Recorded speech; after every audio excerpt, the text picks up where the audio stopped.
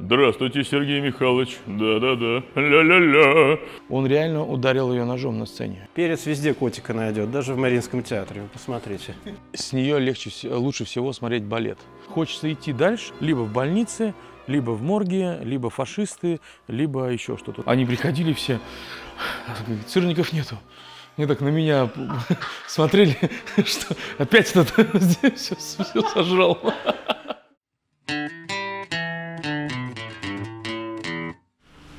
И вот мы, да, и вот мы в, на овощном складе, но на этом овощном складе происходят порой очень интересные события. Тут поют песни, тут э, танцуют на сцене, и у нас сегодня будет наш, как говорил э, Достоевский, Чичерони, точнее, это его жена говорила, что он Чичерони, то есть гид. Но гид, но не гид в том плане. Ну, не Вы гад. Пройдите, хотите? Давайте мы вас Нет, нам надо отметить. Отмечайтесь, отмечайтесь, отмечайтесь. Мы тоже пойдем отметимся. Да, но давайте мы, подождите, сначала представим, кто это, а то какой-то мужик, мужик в очках, и все. Да, это Пресняков на самом деле. Нет, но и мы позволим нашему самому гостю представиться. А, Сергей Скороходов, солист Мариинского театра. А, Можно сказать, последние 20 лет я провел в этом театре и хочу, наверное, кое-что вам об этом рассказать. И поэтому пошлите за Сергеем Скороходовым. Пошлите, да? Пошлите. Сейчас пошлем. Сейчас пойдем. Пойдемте за Сергеем Скороходовым. Нам еще будет помогать добрая фея, поэтому не удивляйтесь, она будет иногда в кадре э, мелькать. Сергей, скажите-ка, пожалуйста, когда вы почувствовали такой, знаете, вопрос э, м, э, девочки, которая со второго курса журналистики пришла и такая, когда вы почувствовали вот это вот, вот это вот, я, наверное, неправильно, конечно, это делаю, но, я- но я и не пою. Для начала неплохо, но есть над чем работать. Через пять лет ждите. А, Когда, ну, на самом деле, я все детство занимался музыкой, и как-то она всегда была в моей жизни. Просто, видимо, сначала хоровое училище, потом консерватория, потом сюда. А насколько вообще сложно попасть в Маринку? Ну, это же прямо крем де ла Попасть в крем. Маринку несложно, а сложно стать хорошим певцом, скорее всего, или хорошим профессионалом. Итак, в эфире программа Малахова, и сегодня мы выясним пять способов стать хорошим певцом. С нами наш эксперт Скороходов. И вуаля!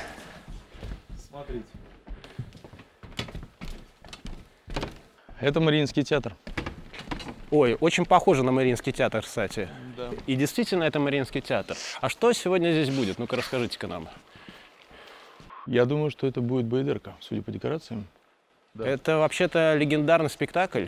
Да, это будет Байдерка, это будет балет. Э, На самом деле в Мариинском театре в день, э, в выходные идут по два спектакля утром и вечером, утром и вечером на обоих сценах. И еще концертный зал. Надо пояснить, э, вторая сцена – это новая сцена. Это новая сцена. Еще есть э, концертный зал Мариинского театра, где идут концерты. Также на самом деле очень огромное количество концертов и спектаклей Мариинского театра. Ни один театр мира, не боюсь этого слова, не может с этим даже близко, как не сотрудничать, как называется, соперничать, соперничать. Вот я когда был э, в цирке, меня предупредили, прежде чем выйти туда, говорит, подождите, все, кто выходит туда, они заболевают цирком и так далее. Ну, нет, на самом деле нет. Э, э, Говорится, что когда, например, маленькие девочки видят балет, как вот эти стоят балерины там в Лебедином озере на пуантах, у них что-то на самом деле в голове происходит, что уже обратной дороги нету. Слава богу, потому что так бы мы остались без балерин. Вот вы когда поете, вот вы же, вы смотрите туда, да? Во-первых, э, кто сейчас, э, ну, раньше понятно, кто там сидел, кто сейчас занимает центральную ложу? Центральную ложу, она принадлежит э, дирекции Мариинского театра, и это приглашенные э, непосредственно дирекции. Очень редко выставляются билеты э, в эти ложи, потому что это такая, ну, вот, э, как, это ложа театра. А вот это тоже ложа театра, вот это ложа директорская, нижняя, потому что рядом мастер кабинет, и его тоже гости сюда приходят. Вот эта ложа, а, на самом деле очень интересная.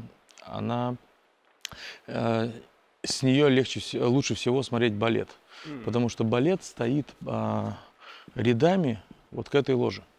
И как бы с царское общее, вот, да, ты смотришь фро- фронт, а это ты смотришь вот эти параллели, которые балет стоит, и, и очень э, князья, да, великокняжеская ложа называется, и князья сидели вот в этой ложе, потому что на самом деле не, не секрет, что они были фаворитами многих балерин, и А вообще вот эта история про то, что, ну, я не знаю, там, там сидел Ники, тут танцевал Кшесинская, вот это вот все, оно как-то... вот здесь было, да? Нет, нет, я понимаю, что все здесь было, но вот оно как-то влияет на... То есть вы, вообще об этом думаете когда-нибудь, когда вот вы, не знаю, нет? Не, мы просто пришли на смену и делаем примерно те же вещи. Владимир Владимирович иногда там сидит. Я не знаю, кто из балерин тут танцует, конечно, в это время. История молчит. Да, ну, то есть э, параллели, они, я думаю, сто процентов есть. Э, Просто э, этот театр мне нравится больше, потому что, наверное, я здесь родился как артист, как э, певец. И с этим связано. Здесь первые шаги были на этой сцене не всегда удачные. Я наб- набивал там, грубо говоря, лоб, э, синяки на коленях, но, ну, образно, да, говоря, но эта сцена сделала из меня артиста, поэтому я начал наш поход именно с этого места. А вот, э, ну, если это, конечно, сейчас придет на ум, э, какие-то пару моментов, вот один прямо феерический успех и какой-то феерический провал. Что-то может прийти? А, на самом деле был такой момент, когда мне нужно было доказать, что я нужен этому театру. А, и мне дали спеть э, небольшую, но главную партию в опере «Макбет» Верди. Я к ней подготовился, и я понял, что от этого выступления многое зависит в моей жизни. А, У меня были какие-то деньги, я купил порядка билетов 20 своим друзьям. Но мне, было, мне, было, мне нужна была поддержка, потому что я пел с народными артистами, там Гирел, Алексашкин, Гордей, которые, ну, такие столпы, грубо говоря, в хорошем смысле слова. Вот. И я понял, что если я сегодня не дам то, что я могу, то второго шанса редко, второй шанс редко дает этот театр. А, Из серии того, как стать солистом этого театра. Да? Итак, первый пункт. Вот, что шанс нужно использовать. Если тебе дается шанс спеть со сцены Мариинского театра, то нужно на все 150% его реализовать. Я помню, я пришел, а там а, такая сцена, что я несу погибшего ребенка на руках. Я что-то так переключился в этот весь образ, что у меня реально а, ну, не потекли слезы, но я был близок к этому. То есть по состоянию я уже достиг вот этого, что я реально, ну, не дай бог, поверил вот в эту историю. И когда я пою то, что у меня отняли жену, у меня отняли детей, у меня все пропало, и я разорву этого Макбета теперь, у меня есть э, за что с ним воевать. Я как-то очень отчаянно, не знаю, вдохновенно это спел, что публика начала аплодировать, не только мои там 10-15 друзей, но вот. И непонятно почему э, Ге- Гергиев оказался в царской ложе. Его не должно было быть в стране вообще. Но вот что-то у него там изменилось, и он, проходя, сел и послушал. И э, потом были уже поклоны, все, публика очень хорошо принимала. А, И на следующий день он, проходя мимо меня, сказал, вы знаете, мне очень понравилось то, что вы вчера сделали, продолжайте. Пиу-пиу-пиу. А про факап какой-нибудь можем рассказать? Слушайте, факапов пока не с- происходило таких жестких. А, И не дай бог, э, про- произошли, да. Поэтому, поэтому ведущий тенор э, Мариинского театра перед вами. Хорошо. э, Куда мы направляемся? Пойдем покажу вам а, а, сцена, на которой мы репетируем. Да, это крайне интересно. Пойдемте. Это режиссерский пульт. Здесь ведется вся работа, все декорации. Угу. Вот видите, оборудование, микрофончики. Пошли.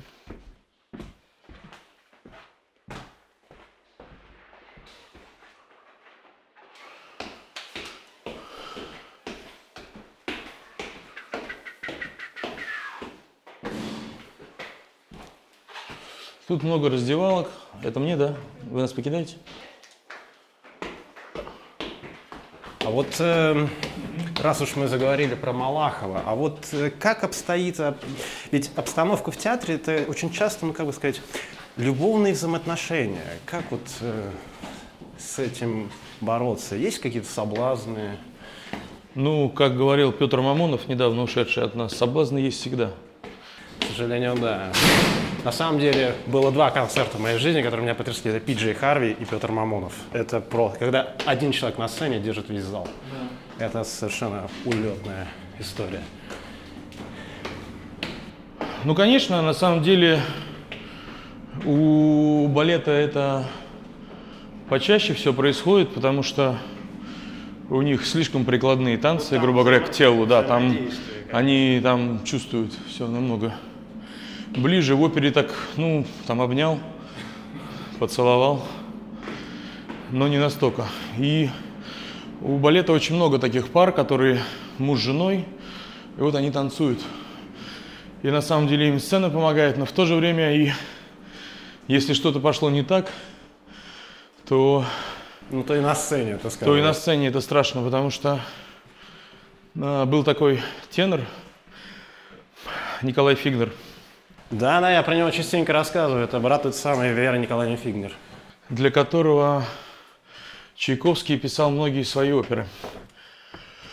И вот это реп-сцена.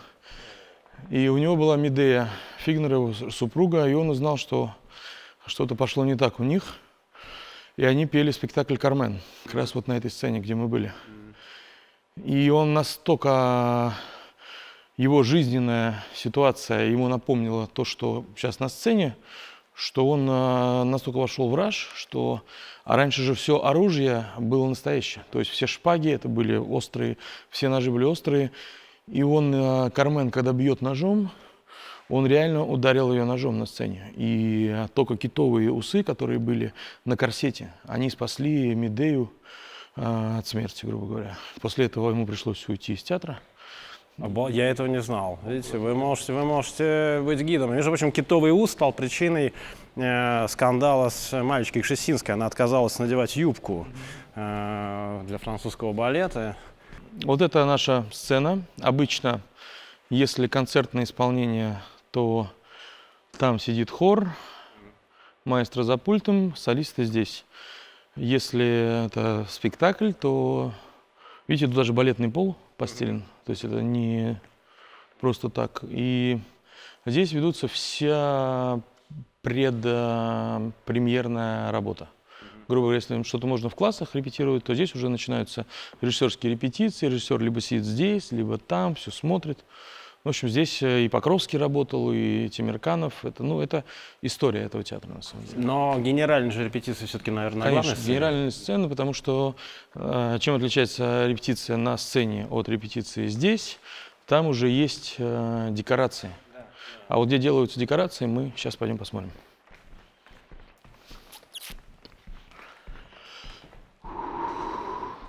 Прошу, прошу, прошу. О, После вас, нет, после вас, нет, после вас. Это хоровой зал справа от нас. И перед тем, как прийти на репетицию, хор всегда распевается. Да, вот здесь на секундочку заглянем. Да, это, вы видите, горы нот. А, Потому что учить приходится так много, что я думаю, что даже некоторые артисты принимают какие-то таблетки для памяти. Ой, перец везде котика найдет, даже в Мариинском театре, вы посмотрите. Ой, какая милота. А, тут были коты. А, Мне маэстро рассказывал, ну да, как-то за столом, что были коты. И были коты, которые специально, у них были любимые певцы. И они выходили на, на арии. Именно вот когда Григорян пел, например, Челестая Аида, арию свою в Аиде, то обязательно выходил откуда-то черный кот, вот так э, стоял на сцене, слушал. Э, Сначала смеялись, потом уже привыкли, но никто э, кота не выкидывал. Э, У обывателя иногда, ну такого не очень просвещенного, есть мнение, что, ну что там, вышел на сцену, попел, как бы деньги заработал, и, и, и не надо стоять у станка и все такое прочее. Ну, если я скажу, что Это факт, да? Час, а, не час, а, три часа оперы примерно равны по затратам, как разгрузка вагона угля. Так что если кто- кто-то хочет уголь, а, пускай. Тут молоко дают за, за вредность, это не шутка. На самом деле, конечно, очень тяжелый труд, особенно балетный. Когда ты теряешь, э, не, балетный ты ладно, они все спортсмены, грубо, ну так, в кавычках, да, это такой очень физикозатратная э, составляющая. А опера, ну там голос, там не так много движений, ну хотя сейчас режиссеры ну, там, идут к этому. А, и по идее, почему все эти чуть толстоваты, потому что, ну, не режим, что вся, весь прием пищи, когда ты устаешь э, после На- ну, на ночь. на ночь, да. А на ночь желудок хочет спать. Поэтому происходит вот такое. Смотрите, друзья мои. Сейчас мы находимся в Головинском зале, который посвящен Головину, нашему великому художнику. Сделал эту конструкцию в 1764 году Бенуа. Вот, и все декорации, так как и а, Головинский занавес а, Мариинского театра, Ки- Ки- Кировского, Мариинского, Кировского, он рису- э, рисовался здесь. Я правильно понимаю, что это уже купол, да? Да, это купол, это купол. Мы когда сюда молодыми приходили, мы через какое-то стекло, по-моему, вот через 100, мы вылезали и а, поднимались прямо наверх к этой арфе. Ну, Это красиво. Так, ну, в общем, э, экскурсии по крышам, правда, дорого, и э, с э, предварительными договоренностями э, об- обращайтесь. Здесь даже два какие-то поэта великие, Волошин с кем-то поссорились, вот именно здесь. А, сд- это та история, про которую можете прочитать в моем путеводителе, да, знаменитая пощечина, и там была такая фраза, да, Достоевский был прав, у пощечины мокрый звук. Да. Э, Гумилев стрелялся с Волошиным, да, они вот здесь. из Здесь они Зачарубиной до Габриак. Да, слушайте, вот, э, э, вот это мне крайне интересно. А я и забыл, что это здесь происходило. Я помню, что у них там была туса, и они начали это все обсуждать. Ну, я думаю, здесь была такая, ну, богемная, потому что все художники э, Конечно. здесь встречались.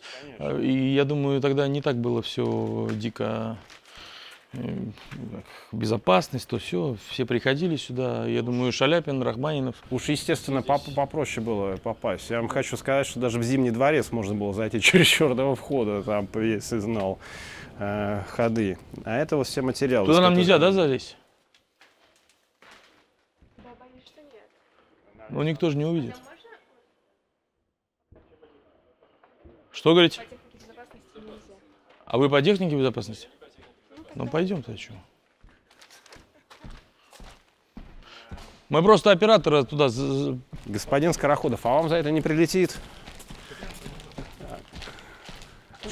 Оператора не жалко, да. Оператора не жалко, да, ему же не петь сегодня. Это у нас расходный материал. Мы, если вы не знаете, то мы на каждый ролик иногда берем нового оператора, потому что мы его, как правило, после съемок А вот тот, который в машине остался, это не второй? Этот вот он э, уже, к сожалению, не годен, поэтому нам пришлось найти замену. Этот еще ходячий пока, но я думаю, до этого момента как раз. А, ну и там сетка. Ну, можно по- залезть и посмотреть сам э, вид. Ну, э, так сказать, благос- да, благослови. Мне было очень приятно, мне было очень приятно с вами работать, Даниил. Э, Родина вас запомнит как очень смелого, отважного человека, не побоявшегося ни- ни- ни- ничего. Покажи нам э, этот вид за, за- за- за решеткой. Я слышал такую историю, что когда Альберт Катаринович Кого закончил этот театр, была первая премьера, и был отвратный звук. И он расстроился из-за того, что... э, вот. А потом выяснилось, что рабочие, которые тут работали, им было лень часть мусора вносить, они его под сцену накидали. И, по- и поэтому, соответственно, не было резонанса. А, Была послевоенная реконструкция театра.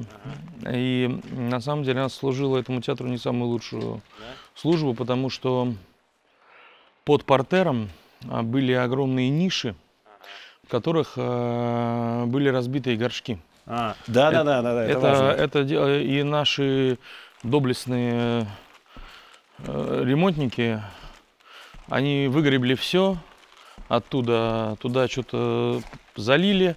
И, в общем, акустику, конечно, этот театр на самом деле потерял. А, И оркестровая яма была под сценой чуть-чуть. Ее сделали в зал, чуть она ушла. Но зато есть такая... Если в этом театре ты поешь, ты можешь петь э, в любых театрах мира. Вот, кстати, я хотел спросить насчет акустических э, свойств. Э, Ведь есть же опыт сравнения, да, с разными сценами. Ну да, да, да, конечно. Вот с этой точки зрения, да, а, где лучшая акустика, где приходилось петь, где лучшая акустика? Ну, приходилось петь много где. Мне, мне нравится очень акустика в М3, да? Спасибо, мы туда не стали лазить. А, В концертном зале М- Мариинки, да? Мне нравится эта акустика в этом театре, потому что я к ней привык, и я в ней вырос, да? Я мне просто, а когда я рос, мне не с чем было сравнить. Когда уже стал гастролировать, то, конечно, есть такие концертный зал, концерт Гибау в Амстердаме, сумасшедший просто зал. Ты просто Чайковского зал, мне тоже нравится в Москве, в консерватории. А из таких, из театров, не знаю, на самом деле, когда приходишь э, в театр какой-то такой, как там, грубо говоря, Метрополитен или еще, там, там, там не думаешь об этом, там, какая акустика, ты просто думаешь, как, а, ну, лучшим образом себя показать. А вот, э, ну вот, были места, где было, ну, реально некомфортно выступать?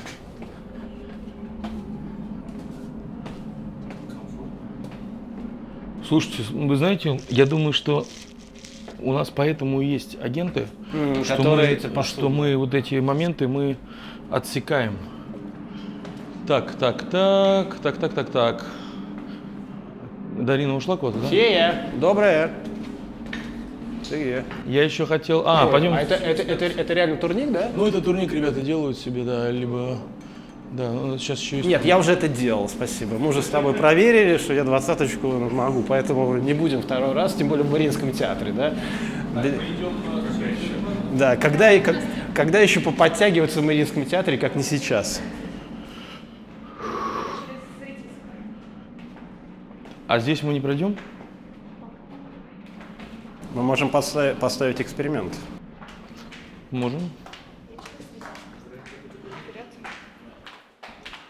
Чего категорически нельзя оперному певцу? Не знаю, есть, делать. Ну, э, на самом деле оперному певцу нельзя, он должен следить в первую очередь за а, весом. Нельзя сильно поправляться. Нельзя а, как, сильно а, как же, а как же следить за весом, если ненормированный рабочий день и все такое прочее? Вот в этом и заключается секрет этой профессии. То есть это решается на уровне каких-то диет или каких-то дополнительных Ну, упражнений? ограничений, каких-то ограничений. Нельзя острое, нельзя э, жирное, нельзя. Хочется? Нельзя копченое. Ну, то есть это все желудок. Ну так это зато здоровее А, будет. сейчас, сейчас, конечно, конечно, конечно. Жалко, что нам вот это не... А, а попробуйте вот это открыть. Ух ты! Вход запрещен, это не буфет. Есть кто-нибудь? Так, смотрите, здесь просто сделали э, ненадолго э, раздевалку, да, но вот это, э, это, это называется балетный буфет. И здесь э, на самом деле вот этот человек по фамилии Виноградов, который раньше руководил балетом до Вазиева, да, он пригласил сюда художника, который э, давал им фотографии, и вот это он рас- распи- расписывал весь этот буфет. Такого буфета нет ни в одном а, театре мира. И на самом деле то, что сейчас вот это, как эти, здесь сделали раздевалку, это из-за пандемии, что, потому что у них маленькие, то есть немного места в этой. И я думаю, после пандемии этот э, буфет опять заработает как буфет э, балета Мариинского театра. Здесь я увидел свою жену первый раз. Вот, и То есть ваша жена все-таки из здесь этой служила, среды. да, балериной. Э, Танцевала, да. И на меня обычно все косо смотрели, потому что у оперных певцов э, другой график работы, им надо там э, урок делать, там репетиции. И я спокойно здесь сидел, съедал двойную порцию сырников, там еще чего-то, еще чего-то. И, в общем, мне так... Они приходили все, сырников нету. Мне так на меня смотрели, что опять кто-то здесь все сожрал. Да. Да, да, да, да. Ну, здесь, здесь, здесь у нас просто два буфета. Просто тот театр появился в 2013 году, а все мы жили здесь э, и Тот работали. имеется в виду новая сцена. Да, да.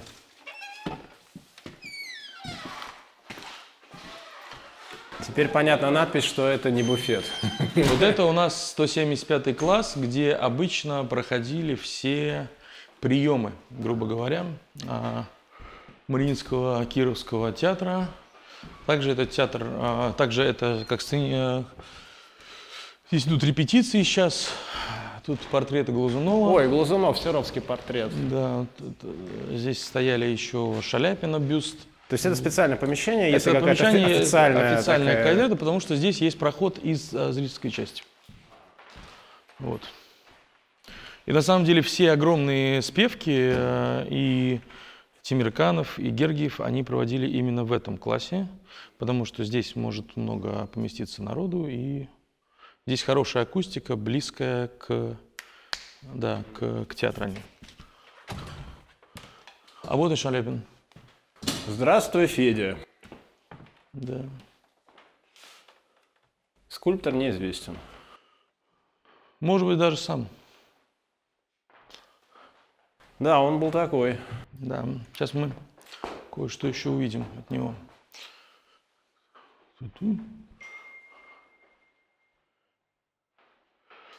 Вот это 256 класс. Сейчас в нем репетирует Марина Васильевна Мишук, наш концертмейстер, а, уважаемый. Нам ведет почти все оперы Вагнера. И это такой как класс, как келья. У нас два таких класса. Вот. а, И в этом классе, что примечательно, есть э, портрет самого Шаляпина, который он сам нарисовал на стене. Автошарж. Да. Это в роли Пимена из Борисского Днова.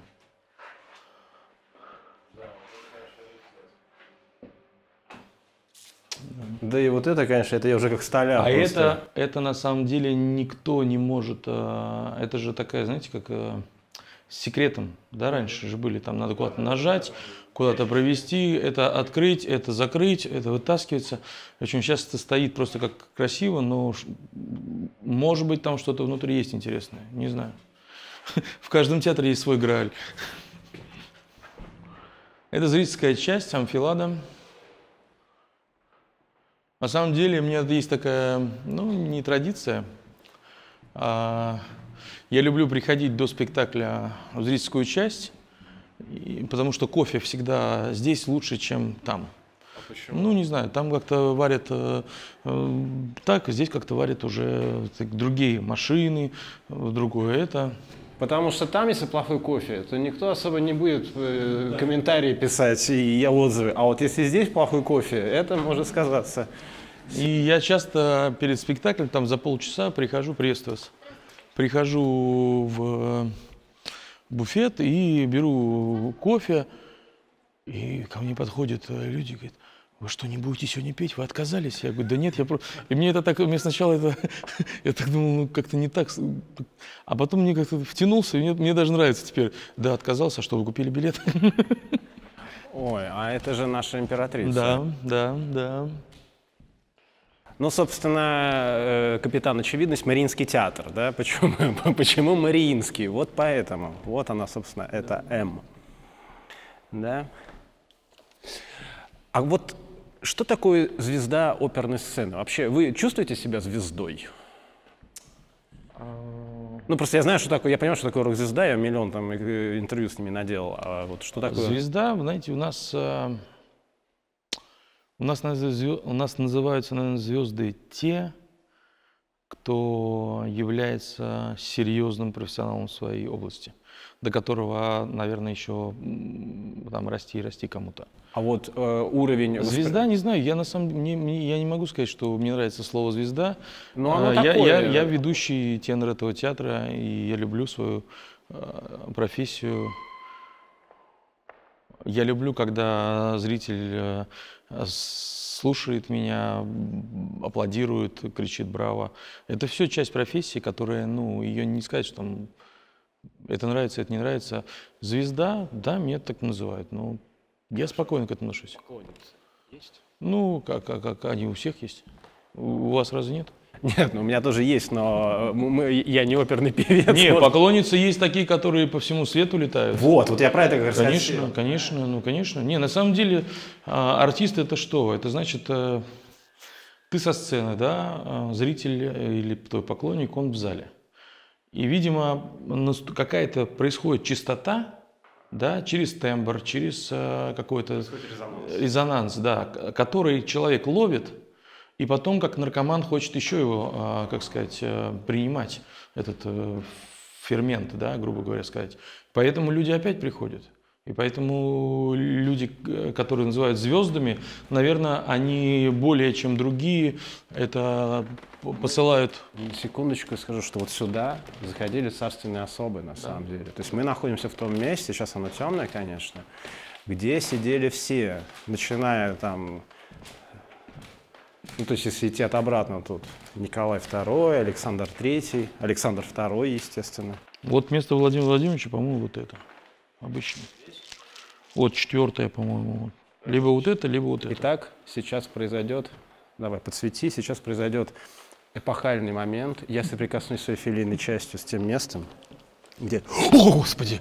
Я, Зажгло? по- я по- я почувствовал это. Я почувствовал это. Я вам потом расскажу, какие мысли мне передались через, э, через эту часть. Когда поется со сцены, вообще э, есть, ну то есть, например, э, некоторые, опять-таки, музыканты, там рок-музыканты или прочие, когда такие локальные залы, не стадионы, они очень любят, например, вычленять в толпе каких-то людей и обращаться к ним, э, когда они поют. Да, я понял. А, вопрос. Вычленять тут пока не получается, потому что здесь темно. Да, если только очень светлый спектакль, то, по идее, ты можешь кого-то увидеть. Но если ты смотришь в портер, то а, те, кто выше портера, вот эти все четыре яруса, им кажется, что ты в пол поешь. И петь надо, во-первых, а, певец должен стоять э, вот так, да, вот, ну это вот прямая спина, плечи, чтобы были. И петь надо, на самом деле, всегда пример, это первый ярус царской ложи. То есть подача должна быть вот так, не вот так, когда ты поешь портеру, да. На самом деле портер – это не самый лучший акустический момент в театре. Лучшая акустика – это вот здесь и на самом верху, как ни странно. Ловите лайфхаки, дорогие друзья. Да-да-да. Потом, а, а, на самом деле, когда я был студентом, и когда мы учились в первом училище, у нас были бесплатные отношения, да, нам писали эти, э, и мы спокойно, мы все оперы слушали. Это же называется галерка. Оттуда галерка, да, и на самом деле на этих галерках, э, ну, не драки, но были стычки между поклонницами, грубо говоря, там, Собинова и там друг- других теноров, были эти марусинистки, Марусин Юрий Михайлович здесь э, еще поет до сих пор великий наш э, тенор. И они реально, эти поклонницы, там, ну, до драки не доходило, но были моменты таких стычек серьезных. Итак, сейчас мы увидим, где пьет кофе настоящая звезда Мариинского театра. Не переключайтесь, мы увидимся с вами сразу. Э, ну, рекламы на самом деле на моем канале нет. Я, мне тут уже три раза написали про ставки спорт, я им показал вот этот вот э, классический жест. Не хочу я, чтобы это было. И вот она у нас Здесь я иногда срезаю, чтобы повернуть на улицу Глинка и поехать к себе домой. Да, и тут, кстати, у меня есть отдельный маршрут тоже по проходным дворам. Если что, я его придумал, один раз провел, скоро будет повторение. Там есть совершенно удивительные места, потому что здесь Мариинский театр, а там такие персонажи с оттопыренными коленками, да, вот эти вот наши... Ой, господи ты, боже мой, котики, обормотики.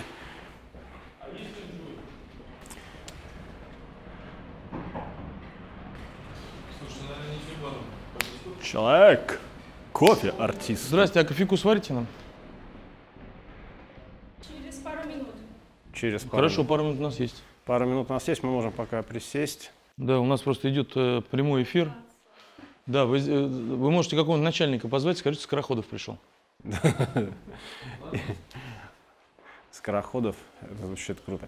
Хорошо, э, как вообще, ну вот, э, ведь мир артистов э, и вообще мир вот э, такой м, артистический, но это, будем говорить откровенно, порой это клубок змей. Ну это же амбиции, это зависть. Ну, это волчий мир. Это волчий мир, да, и... Господи, что мне только не рассказывали там про балерин, что они там иногда друг другу делают, да, я уж не хочу сейчас это озвучивать, Э, но тем не менее, э, без всяких там фамилий, имен, естественно, но вообще с таким приходилось сталкиваться? Ну, по молодости, конечно, более опытные и более... Ну, не то, что делали подлость, но подставляли, да, подставляли. А вот там. каким образом? Ну, просто вот интересна Ну, механика. Они знали, например, что а, завтра, например, придет, а, там, грубо говоря, Гергиев на репетицию. Да, они знали об этом. Я не знал об этом, да. Они говорят, ну, приходи, там, порепетируй что-то тут. А я и репети... ну, и материала не знал. И приходит маэстро, и, в общем, ты от него получаешь как бы по полной. Да, то есть они подставляли меня, чтобы сами ну, не, не, не, не попасть под, под раздачу. Ну, потом просто я такие моменты не ну, убрал из своей практики и все. В самом коллективе, не обязательно там оперно, вообще в принципе, ну, Мари- Мариинский театр же это просто огромный механизм, да, то есть тут многослойный такой пирог, тут помимо артистов есть еще там Да сопутствующие... много кто есть. Есть э, рабочие сцены, есть э, пошивочный цех, есть оркестр, есть хор, есть э, рабочие, работники сцены, не только мне. А, Да, еще, да? пожалуйста, да. Сколько? Мы тоже люди. Ты будешь кофе? Ты хочешь кофе? Не, ну еще один принеси себе. Если можно, просто стаканчик водички еще к нему. Да, спасибо. три бутылочки воды. Да. А, и на самом деле, вот говорят там звезда, звезда, да.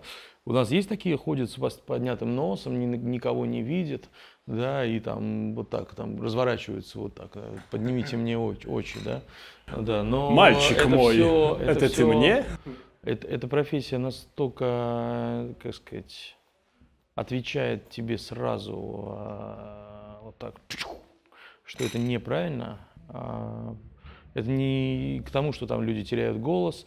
это- но вот как-то этот театр, на самом деле, это такой организм, который вычленяет и убирает то ненужное, которое, в общем, как-то и оставляет то нужное, для чего а, люди приходят в театр. Эти люди, с которые вот э, ходят вот такие, э, несут себя это, они сами съедают себя, и очень быстро на смену им приходят достаточно нормальные, четкие люди, у которых есть понимание, что мы все здесь на самом деле занимаемся а, одним и тем же. Мы несем доброе, хорошее людям.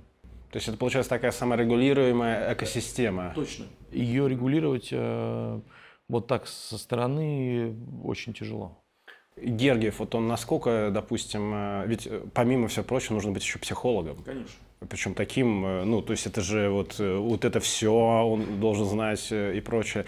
Насколько артисты это чувствуют? То есть, ну, у него же наверняка есть Гергиев- любимчики, да? Гергиев вникает почти во все круговороты этого театра. То есть не то, что у него там есть везде люди, которые там приносят информацию, а он сам там звонит туда, звонит туда, узнает, собирает. И поэтому он здесь уже почти 30 лет э, художественный руководитель, директор. Ну, то есть, в принципе, это действительно, если мы говорим партия, подразумеваем Ленин, мы говорим Мариинский театр, подразумеваем Гергиев. Ну, это сейчас это, это, это огр- э, сильнейший лидер, я считаю, не только в Мариинском театре, но и в мировой культуре. Вот так. Хорошо. э, Когда вот спектакли какие-то происходят, да, спасибо большое. Вот распределение ролей, это от кого зависит? Как это происходит? Ну, а, есть такая иерархия. Худрук, после этого идут а, концертмейстеры, которые отвечают за эту оперу. После этого отвечают «Здравствуйте». А, И потом идут просто концертмейстеры. И а, раньше, когда это было в советское время, конечно, была там номенклатура, и все как-то так спускалось. Сейчас маэстро может просто позвонить, э, сказать, сколько тебе нужно времени для того, чтобы выучить там вот эту партию. Извиняюсь, перебью, действительно хороший кофе. Да, я говорю, например, мне нужно там три недели. Он говорит, «Да хорошо. Ты через три недели будешь готов? Я говорю, да. Все. И он уже дает информацию, что, например, вот это, вот это, там, вот, э, у него уже прямой контакт. То есть он уже вот эту прослойку, как, э, ну, не, не люблю слово прослойка, но а, концертмейстеры, то есть у него есть порядка там 10-15 своих, а, как любимчиков, я считаю, просто хороших профессионалов, с которыми ему интересно работать, интересно в первую очередь. То есть ему, когда он скучает, он теряет интерес. Когда ему интересно, когда и нам интересно. Но ведь это, получается, должен быть не только, ну, понятно, голос, ну, должно быть еще что-то там, харизма, там, какой-то характер. Ну вот чем, чем, наверное, Мариинский театр и отличается от остальных, что у нас нету просто вокалистов, у нас нету просто, это, и у нас, эм, как сказать, маэстро интересно, когда происходит драйв, когда происходит спектакль, когда это, когда ему что-то не хватает, он на репетиции говорит, ну, ребят, ну это скучно. Так, там, давайте вот это, тут, тут, тут, тут, это, ну, как-то так. И когда, например, есть такие, которые тут поют там в одну дуду, ему это тоже неинтересно. Ему интересно, а, чтобы через ту музыку, через ту музыкальную палитру, которую написал композитор, певец искал свою, свое и выделял какие-то свои черты характера и черты персонажа, которые были бы а, остры для публики. Я думаю, вот так. Вот по поводу публики, ну, э, Мариинский театр, это все-таки, не будем лукавить, это довольно элитарная вещь. Э, Но элита это не только та часть населения, которая знает, что такое опера, это еще та часть населения, которая имеет деньги. Случалось ли так, что ну, приходят люди, которые явно пришли сюда просто «я в Мариинке»? Часто, частенько. Ну, например, когда такие фамилии, там, как э, Доминго, ну, на самом деле, я слышал звон, не знаю, где он, это из этой серии. Конечно, они приходят, чтобы показать, я же, это, Доминго была. То есть это классическое на лабутенах. Не, ну, это везде, так, так же и Большой театр, и, ну, это, это, как сказать, э, есть такой театр, как Ласкала, да, а, куда ходят э, поколениями. То есть это дедушки с внуками приходят, и это вот эта идет традиция. У нас эту традицию в какое-то время пресекли, да, обрубили. А, например, на премьеру а, никто не считает зазорным одеть смокинг. А открытие сезона только в смокингах пускают. И это и есть какая-то вот в этом, а, так сказать, ну, не знаю, красота, что ли, что вот это. Но это, это, это действительно просто тупо красиво. Да, это красиво, когда а, дамы в платьях, не только там на день рождения, там на юбилей к подруге платье одела, да, там на каблуках, а когда пришла в театр, и это, как сказать, ну, тут раньше, когда я, я когда попал в этот театр, а, я помню еще те времена, когда люди приходили с мешочками, переодевали а, женщины туфли, если они пришли, приходили там, например, а, осенью или, или зимой, или одевали туфли, платье, ну, платье уже было, и вот они, они ходили здесь, да, здесь есть, здесь это место, где можно покрасоваться там в антрактах, выпить, поговорить, встретить себя, показать. Классический бутерброд с красной икрой, полтинничек коньячка. Да, это прямо наша ленинградская замечательная традиция. А, бутерброд с твердокопченой колбасой. Твер- Вот да, это да, да, вот. бутерброд. Вот такой длинный, он еще был такая это сказка. А насколько вот эта история, ну вот как некоторые до сих пор любят говорить не Петербург, а Ленинград, насколько здесь употребляется слово Кировский театр? А, Кировский театр это та страница, которая на самом деле, а, ну как, а, я, я познакомился с этим театром, когда он был кировский. И для меня спектакли Кировского театра, ну, они в моей голове, в моей памяти, и это, не побоюсь того слова, шедевры. Просто Мариинский театр, э, когда Петербург э, переименовали из Ленинграда в Петербург, да, то мы посчитали, что Мариинский. Мне кажется, что Валерий Бесалович начинал свою карьеру именно в Кировском Ну, естественно, Да. конечно. В каком еще? Так, идем дальше. Так, мы с вами идем, идем, идем, идем. Вот здесь даже иногда концерты проводились. Здесь а, табуреточки ставились, и здесь тоже хорошая акустика.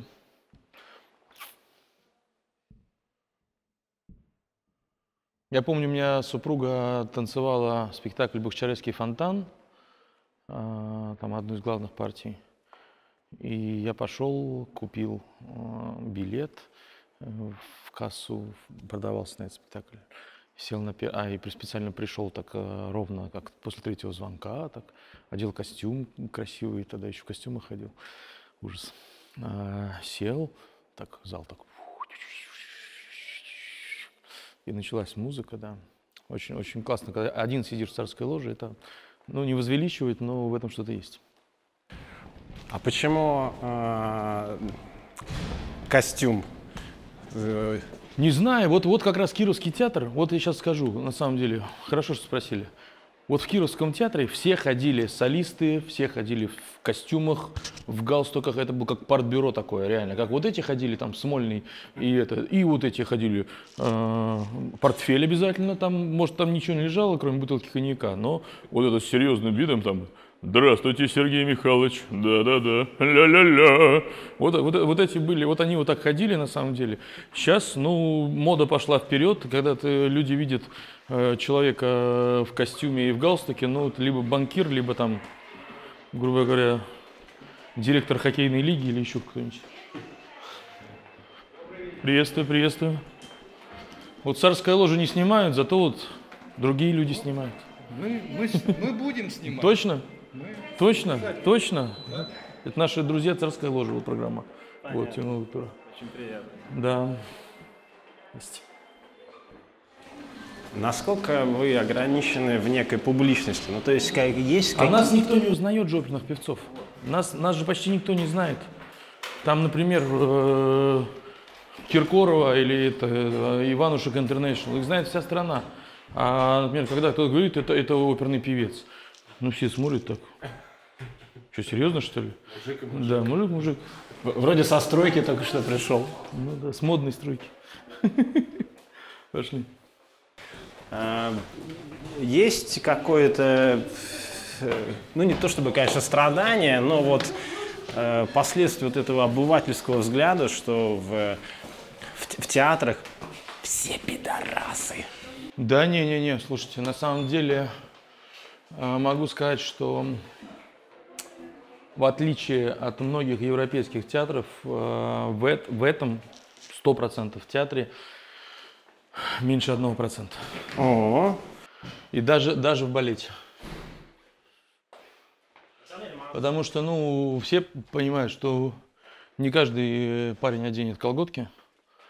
Да, но И не каждый парень будет ходить с ирокезом по улице, как, как этот пидорас Ну, Павел даже, Перец. Даже, даже, даже, грубо говоря, там режиссеры, которые сюда приезжают, там ставить оперы, ну, как там лет 15 назад. Вот, конечно, они искали какой-то поддержки, э, нам наверх, э, среди балета, ну и тут такой жесткий облом, и говорит, как, как это, как это так? В Мариинском театре все так все. запущено. Скороходов разбил весь наш сюжет. Не получится у нас скандалы, интриги, расследования. Оказывается, в Мариинском театре все как... Все, все, все как надо в Россиюшке. Скрепно. Так что, э, любители э, покопаться в этом все, можете спать спокойно. Здесь вам ловить нечего. Только за искусством. Только за искусством. Здравствуйте. Здравствуйте. Так, вот этот мост а, был Мы же не будем его называть мост вздохов. вздохов нет, нет. Но это мост, э, соединяющий а, два театра и э, его, конечно, нет, он перекрыл э, шикарный вид, потому что тут восьмимостье же есть. Откуда еще, оттуда еще два моста можно было посмотреть, даже три, да? Он чуть перекрыл, но Он просто нужен технически, потому что когда балерины перебегали в, этих в пачках из Лебединого озера по вот этому мостику зимой, это было не весело, честно говоря. Вот.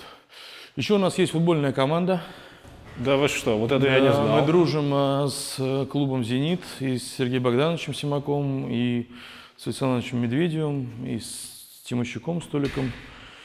И играем а, иногда даже с ними. О, футбол. смотрите-ка, даже заняли второе место. Тут есть первое. Тут есть даже первое. Где-то есть первое, да. Где-то даже есть первое. У нас есть э, база, где мы там по понедельникам э, А вот я вижу за первое место. Первое место в соревнованиях по футболу Санкт-Петербургская театральная лига. Вот, просто э, мне не всегда получается участвовать. потому что по большому счету в России, ну, я провожу обычно месяца два. О, мы сейчас об этом поговорим. Вперед, Марья Инка! Вперед, Марья Инка! Потому что все это расписано, и просто только сейчас, благодаря пандемии, мы все как бы здесь э, дома и радуемся. достаньте, пожалуйста, пропуска. Не надо ничего, как катать, катать. Вот. Раз, два. Мы вполне официально. Тут, видите, это история нашего театра, тут есть старые афиши, эвакуация была и в Пермь, и в Мне, Уфу. мне в каждом таком лице Шаляпин мерещится.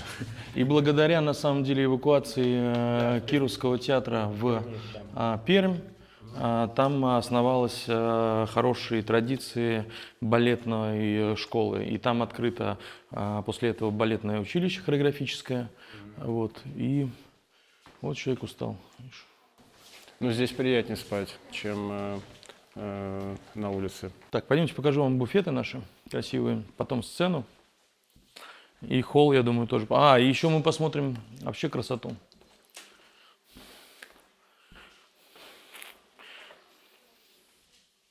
Вот к вопросу о, о жизни в театре. Видите, насколько изнуряющая Ну, сегодня просто двойник. Сегодня два спектакля «Орлеанское дело». Я в вечернем участвую через час.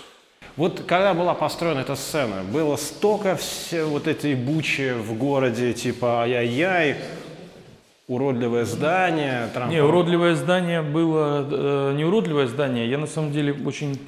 э, мне нравится красивая архитектура. И тот э, проект французского архитектора, я не могу сказать, что он был... э, просто он опережал немного свое время. И, конечно, в анклаве вот этой, э, как сказать, Коломны, да, где ну, сталинские здания УПА с, как, сосе- по соседству с... Это здесь он, конечно, вы- выбивался. Но потом были проблемы еще с э, почвой, потому что как таковой ее здесь нету. Там такая, такая, как пластилин, грубо говоря, если не хуже. И потом взят был за основу э, вот этот...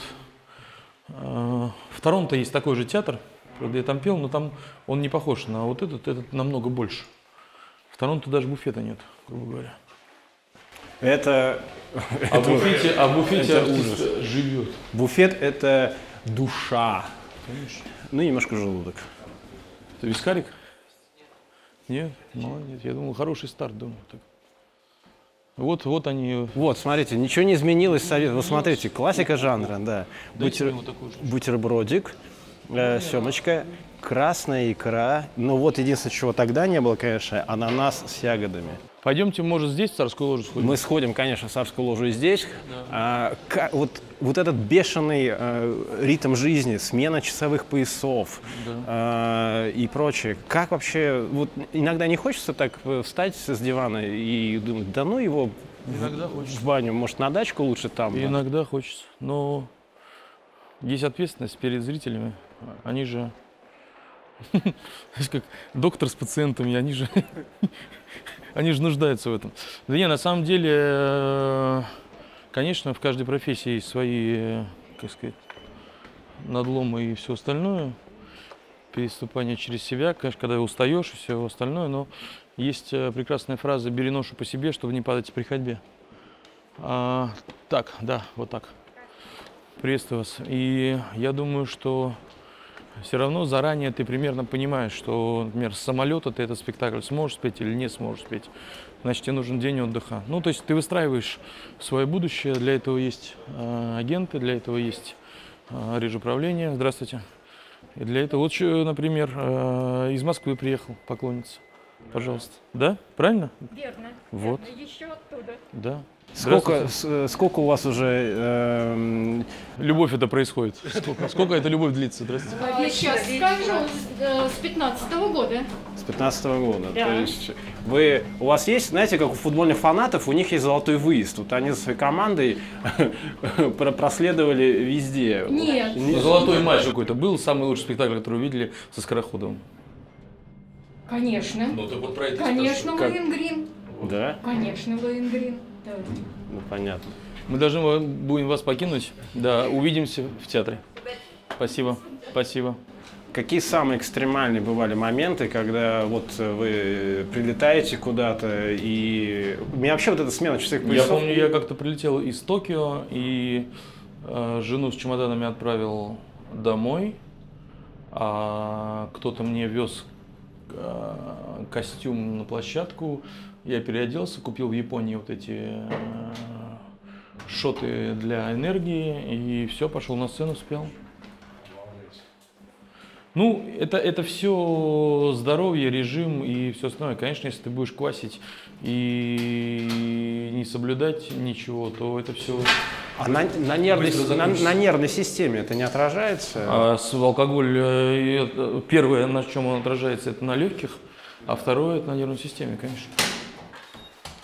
Ну, а вообще, так, да. Я думаю, знаете, когда у маэстро спросили, что самое главное для оперного певца, да, там кто-то говорит голос, голос, он говорит, нет, голова. Потому что если ты э, в ладу со своей головой, да, если ты можешь контролировать свои эмоции и э, свой профессионализм, там, то у тебя есть будущее. Если нет, то оно быстро закончится. Вот мы были недавно там, вот про ту самую лиру говорил наш герой прекрасный, что в молодости они забирались туда. туда забирались. Да. Да, вид на миллион. И вот смотрите, косяками идут пароходы. Привет, мальчишу. С левой стороны вы можете увидеть новую сцену Мариинского театра. Дальше не знаю, что они говорят. Ой, они рассказывают про то, что этот театр э, сделал какой-то интернет, э, как это называется, лайвстрим. Э, Не рассылка, а ну, пока показывали в интернете какие-то балеты, что это пе- перед- пе- началось все здесь. Вот можем еще подняться. О, давайте. Ну, кстати, пользуясь случаем, но не могу не сказать, вот здесь раньше был Литовский замок. Он был здесь. Он был прямо вот здесь. Прямо вот здесь Он сразу? да? прямо здесь. Нет, это, это дом сталинский, это старый дом. Он был прямо здесь, и, и через галерею, которую мы проходили, она так и называется, галерея э, литовского рынка. А, нет, Литовский рынок, но... А здесь был Литовский замок. Литовский замок был дальше, он вот там, где новый дом построили. Ну, он был, огр- он был, Да-да. нет, я знаю про этот новый дом, его построили на месте как раз старой такой советской постройки. Да, там был детский сад, потом хостел, а потом... Да, Но он на самом деле занимал прак- практически весь этот квартал. Здесь даже фотографии старые, могу потом показать, да. И это, это была наша такая русская Бастилия. Ее спалили тоже в феврале 17 года в первую очередь. Тут стоял просто литовский полк, поэтому он так был назван. Пойдемте сюда. О, Даниил. Ну-ка покажите-ка нам вот эту замечательную каланчу, куда Раскольников ходил на допрос, сохранившуюся. Вот, да, она видна как раз. И вот я сейчас хочу посмотреть, видна ли здесь вот это полукруглое э, старое э, ме- место локации э, декорационного зала Мариинского театра. Вот там она, да. А, просто вот у меня из окна она видна, а вот здесь, наверное, ее не увидишь. Она, Она на- выходит на эту, да, на набережную. Нет, она на Подьяческой находится. На... На подъездчика она, она выходит на мойку. Нет, на канал Грибоедова. Не, на канал Грибоедова не находит, она, она как раз параллельно. Я, я всегда у людей спрашиваю, что там есть два потрясающих, э, э, э, две потрясающие локации. Это подстанция трамвайная, которая выглядит как дворец такой модерновый, и вот это. Но не видно ее здесь, ладно, потом покажем. Но ее можно увидеть через этого. На самом деле страшно вот эти дома, да, которые Да, за- да, закрывают, конечно, всю Вот тот, как вот это все? Ужас. Ну, город растет, а в Москве, прикиньте, что творится. Там, там вообще же. У нас, у нас хотя бы... Всегда Мак жил. Да, да, да, вот он всегда Мак живет. Но ты там снимаешь, ты не купил, да. Не, ну, по- конечно, панорама здесь потрясающая. Сюда выходят же, да, во время перерыва или как? Или здесь Слушайте, закрыто? здесь сейчас пока закрыто, э, потому что если начнут пускать, люди перестанут э, Ходить в театр. ходить в театр, просто будут здесь сидеть, загорать, еще душ поставить. Селфи делать здесь сплошные. Да, их можно понять. Не, ну... Не, а так на самом деле странно, что в таком городе, да, с такими видами, у нас так мало видовых э, ресторанов. Это правда. Правда. Ну, и, их побольше, но вот именно с крутыми видами, да, наверное, наверное, 5, да. Сейчас остальные 10 напряглись и думают, кто же это, кто же эти 5-то, а? А вот и гадайте теперь, друзья мои.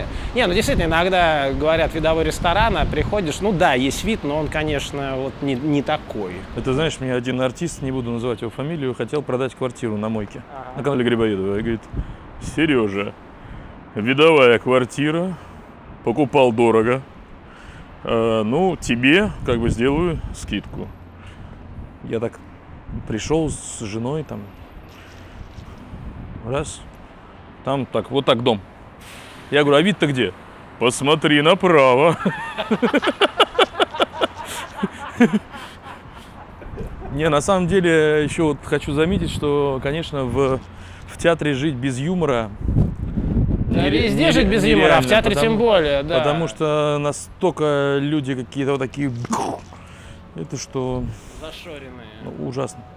Да, Особенно, когда они еще черно-белые такие, вот они знают вот это хорошо, плохо, да, квадратные, вот очень хорошее слово, квадратные, да. Don't be square. Помните, такая была фраза в Pulp Fiction? Это на самом деле идиома английская, да, когда Ума Турман ему говорит так, don't be square, и показывает это, типа, ну не будь квадратным, это, это правда. Ну, раз уж мы заговорили про покупку квартиры, я, конечно, не буду спрашивать про э, income, но тем не менее, каков вообще уровень довольствия вот э, звезды Мариинского театра? На что, на что хватает, на что не хватает вообще? Я что- могу сказать, что а, а, маэстро нам сделал сейчас такие, ну не сделал, как бы у нас такая, как там, премия, да? Мы идем, что, например, я могу выбирать, ехать мне на тот иной контракт или не ехать. Потому что... Один. А, потому что ну, я помню, как вот наши хоккеисты, да, уезжали там, да, потому что они там в ЦСКА получали там 3 копейки, и туда поехали, начали получать там нормальные деньги. Сейчас э, у России есть такие возможности, что нам можно никуда не ездить, реально. И мы вот этот год э, отработали, да, пандемийный, грубо говоря, мы начали в июле, сейчас уже будет э, почти год, да, уже. А, я могу сказать, что на хлеб с маслом хватает. Это сейчас начало происходить или это... Не, это вообще просто а, обычно, ну, я там между своими какими-то спектаклями, грубо говоря, во Флоренции, я прилетел, ту, спел, пам, улетел. То есть, э, или бы там э, прилетел на какой-то постановочный, там, последнюю неделю, и раз, и сразу спел, там, два спектакля, опять улетел. То есть, я очень редко здесь провожу больше, чем, там, грубо говоря, неделю. Вот по внутренним ощущениям, насколько еще мотора хватит вот в, в таком графике жизни?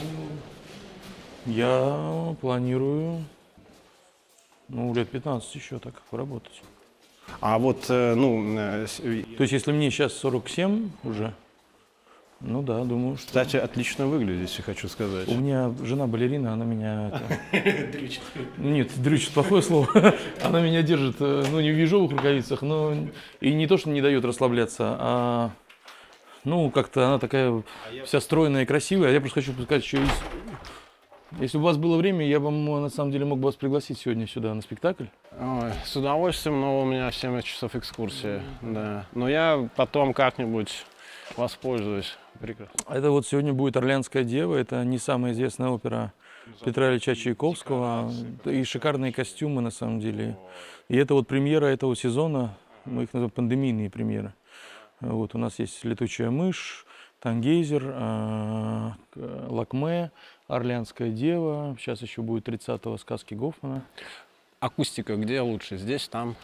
Мне не нравится акустика вот здесь. Я вот своим друзьям, честно, я поку... беру билеты. Второй лайфхак за сегодня. Вот где-то вот здесь, да, начиная отсюда. То есть, начиная с 11 ряда, уже акустика нормальная, да? Вот здесь вот эти пять рядов туда. То есть с 11 по 15 мотайте да, на ус. и, и выше вот это все, это прекрасное звучание на самом деле. Потому что первый ряд, э, честно, это понты. Да, вот ты пришел, там типа все заметили, о, нифига себе, этот в театр ходит. Вот так. А а обычно а, над солистом, а, ну, когда мы приглашаем своих гостей, вот са- сажают либо вот здесь где-то, либо с этой стороны. Это тоже такие... Царская ложа здесь огромная, просто она такая... Вот. А она вот как официально так и называется царская ложа? Или Ну, она... она везде, она везде, ну, она называется ложа О или как-то, ну там, ну, по идее, это всегда царская ложа. Это всегда Ну. Для... Обратите внимание, какая тут глубокая сцена на самом Да, она деле. очень глубокая, и на самом деле э, механизм этой сцены, они отвечают э, всем э, последним новациям в театре. То есть то, что сейчас Ласкала сделала, полный ремонт сцены и полную реконструкцию, что Бастиль, э, Мэтт сейчас ждет э, эту реконструкцию. Но э, техническая составляющая, потому что на самом деле театр идет вперед, а, и режиссеры все более и более э, хотят что-то такого интересного. И вот это, на самом деле, она может уходить вниз, слева может вот так чук, заходить, слева может уходить, справа может уходить. Ну, то есть это огромный, э, огромный такой factory. Насколько Мариинский театр э, готов вот к каким-то радикальным экспериментам? Потому что, ну вот даже... м, Ну, смотря что называть радикальными экспериментами. Э, Ну вот э, с- в Вене я видел, э, по- ну в смысле я сам что там был. проходит, происходит действие в морге или где там? Ну, ну, всякое Ну, там, на самом деле, видите, самое, самое главное, чтобы было э, понимание у зрителя, Мгм. а не только у режиссера, что хотел этим произведением сказать автор. Режиссер насколько...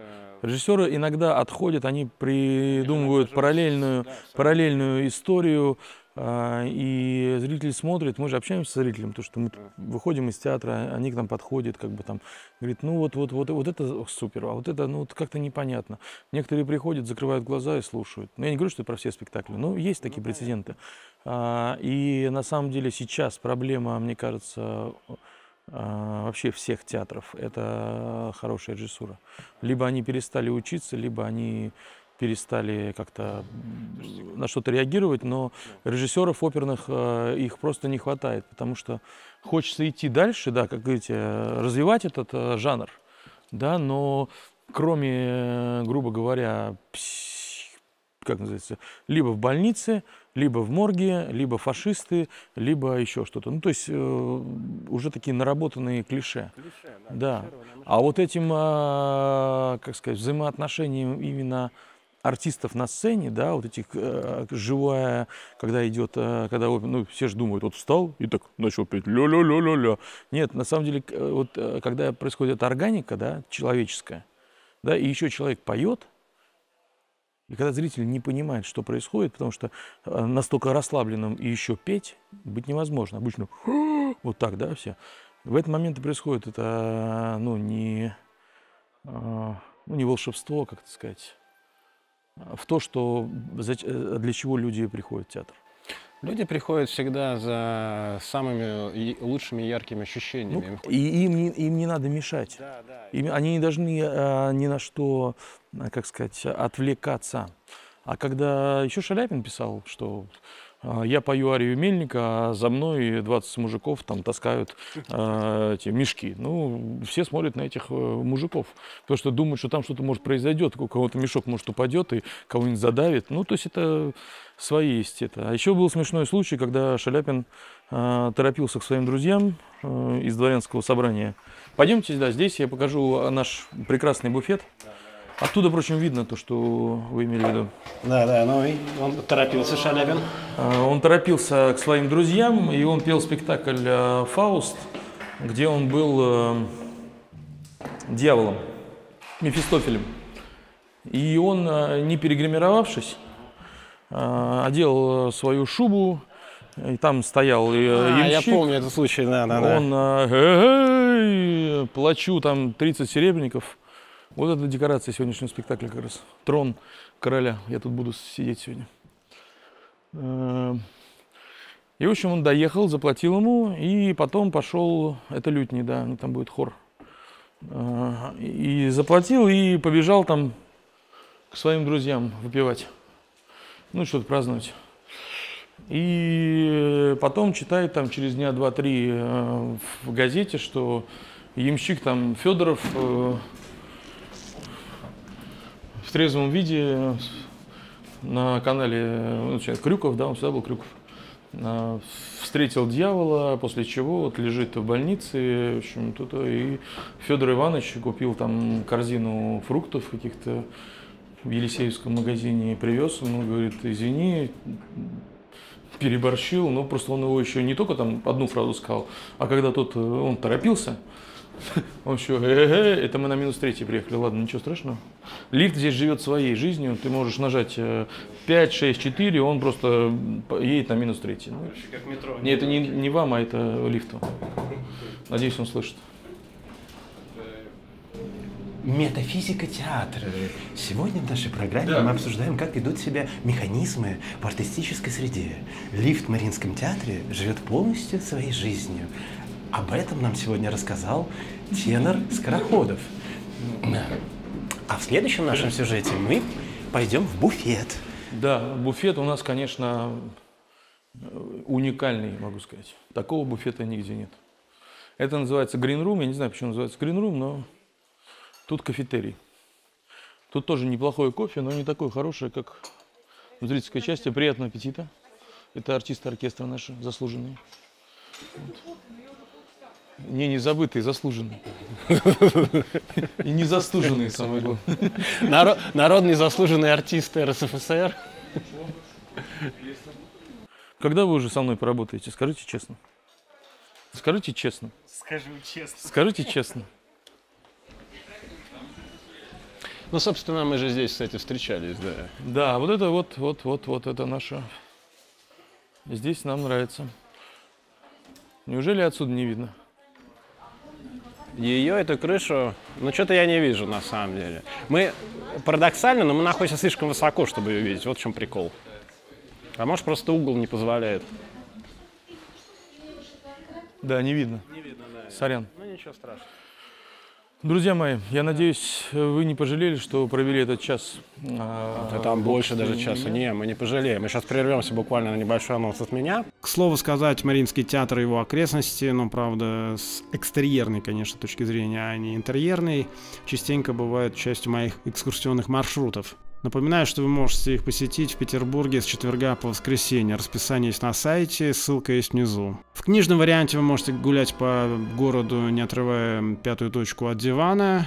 Просто если купите мой путеводитель по Невскому проспекту, где описан каждый дом от Адмиралтейства до площади Восстания. Книга богато иллюстрированная, имеет журнальную верстку и очень удобная для чтения. Если вас интересует более серьезная публицистика, то есть опять-таки в продаже труд, посвященный пиар-компании Японии, которую она провела во время русско-японской войны в Англии и в Соединенных Штатах Америки. Также с большим иллюс- иллюстративным рядом. И есть книга вообще без одной иллюстрации, потому что это роман остросоциальный, называется «Корень», про любовь, убийство и всевозможные тройные смыслы. Все это можно купить именно на сайте, либо в конце каждой экскурсии, причем в этом случае вы получаете еще автограф автора. Ну что, во-первых, удачи на сцене. Надеюсь, что не 15, а может быть и все 25.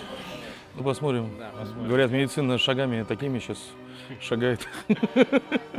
Вот. Ну, а вы что, оставляйте комментарии. Приходите в Мариинский театр, на самом Приходите в деле. Мариинский театр, конечно, тем более вы теперь знаете, где покупать билеты. Вот видите, все, начинает разрывать нашего артиста, поэтому самое время закругляться. Комментарии туда. С вами был гид Павел Перец. Увидимся. Пока.